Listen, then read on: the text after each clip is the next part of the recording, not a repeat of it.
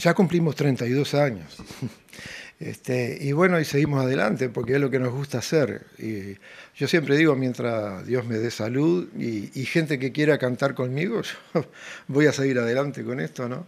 Este, bueno, tenemos el, festejo en el teatro, precisamente por los 32 años del coro, este, que va a ser miércoles 9 a la hora 20.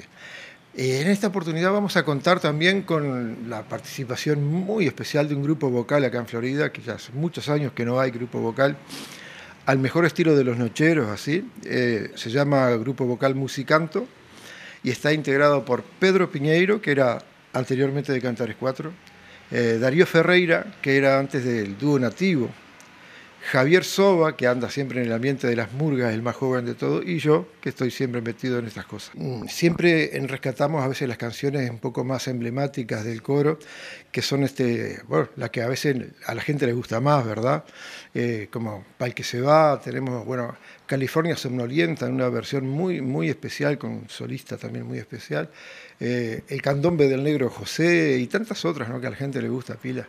Este, el espectáculo es entrada libre, a la hora 20 en el teatro, pero entrada libre, pero eh, le estamos pidiendo a la gente que lleve algún alimento no perecedero, porque eh, se va a distribuir con la pastoral social de la catedral que atiende a gente carenciada, a muchas familias aquí en Florida, y bueno, entonces estamos necesitando más alimentos para poder este, solucionar los problemas a toda esa gente, ¿no?